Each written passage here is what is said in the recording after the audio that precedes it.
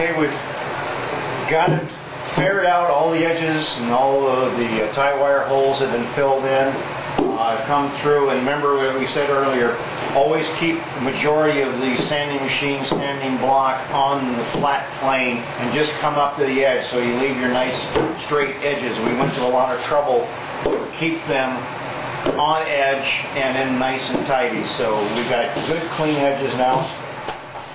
Another little thing I like to do, keep my tape in line, is I got a little block that I've measured off half the width of the tape that I run along the edge of the seam and leave a pencil line in.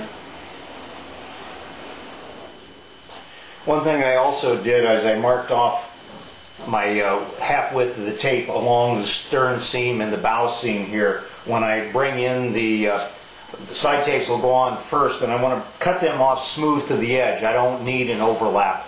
Uh, it just makes a bigger lump that I need to hide.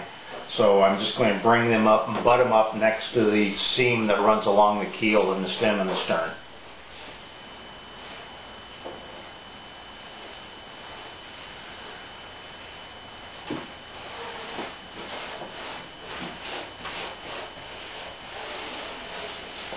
Take any excess you have in that lower lower seam and start chasing it to the ends and then start angling it, or curving I should say, off around the, uh, the outside.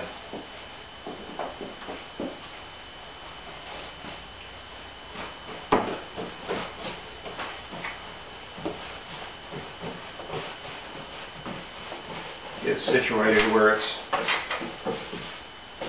up on the on the seam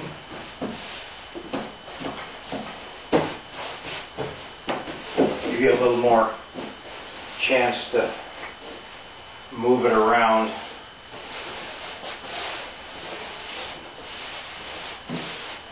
Once it's wetted out a little bit. Run it back and forth a couple times.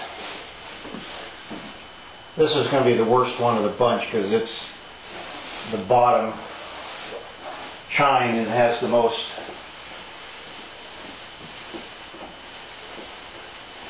most curvature, especially at the stern. So there we go. I've got it all uh, smoothed out. Now I'll come along and I'll completely wet out the bottom half to get it firmly attached and then I'll come back and start in the middle and then chase at the end. So let me get this bottom half wetted out and we'll come back. Well, burn up some tape and show you how I'm wetting this out. Especially at this tricky part at the end. Just keep advancing the, the sticky line, I like to call it. At least that's what I'm calling it at the moment. You'll also notice as the tape, you get closer to the tape as you're chasing down to the end, uh, the tape actually gets narrower.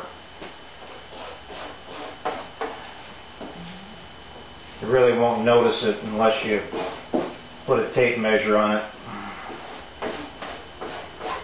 But you can see how it's, it's become narrower at this spot, or at the very end. But still try to split the difference between the upper half and the bottom half. Get a good wet out. Chase the stuff to the end. I still land out. Okay.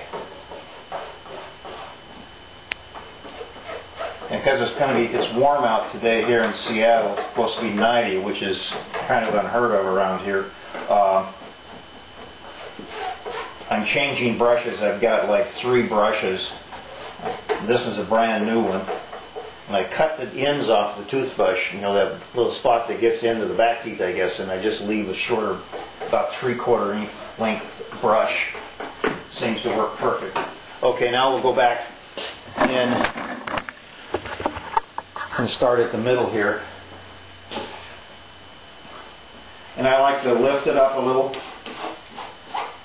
just to give it some tack underneath and then start chasing that excess, the tack underneath that I put in tends to hold it, give it something to hold down on.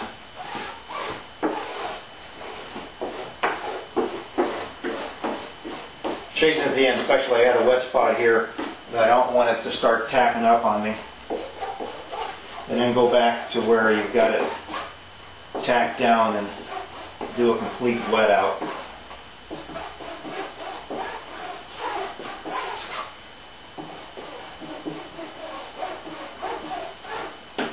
Also be checking for runs down in this lower spot here. You don't want to have it all over the place.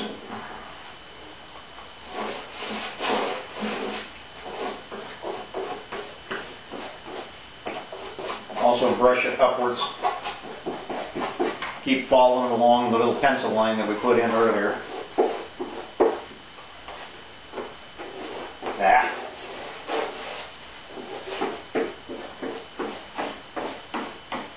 Like I said, upward and forward on the little movements. And you'll see, well, you can't see, but I can see that this end of the tape is narrower than it was in the middle, so.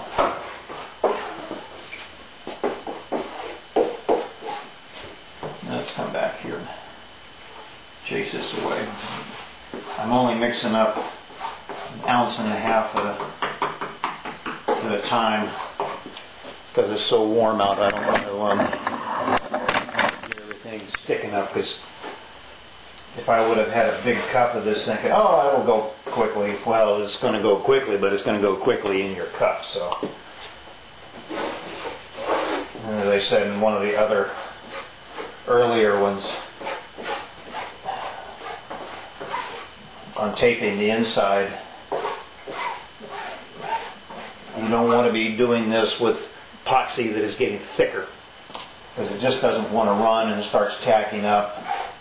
One of my earlier boats, I had some pretty ugly looking uh, seams on because uh, uh, just couldn't get it on quick enough. So let's go around here to the end finish this baby out.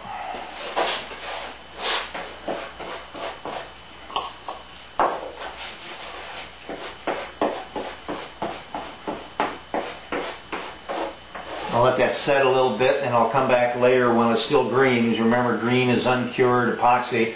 Um, and I'll take an X-Acto knife and trim right along this edge and then this whole thing will peel right off. Okay, this is what I was talking about earlier when I said uh, when the uh, epoxy is green, uh, come back and uh, do all the work on the rough edges the, at that time because you'll be able to take your X-Acto knife and then pull up the tape and you still have your nice clean edges.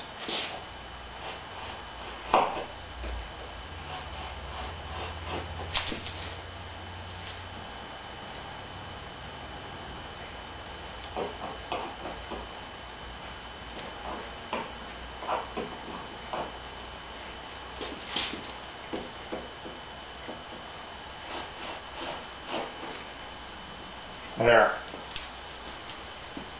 Now it's all good.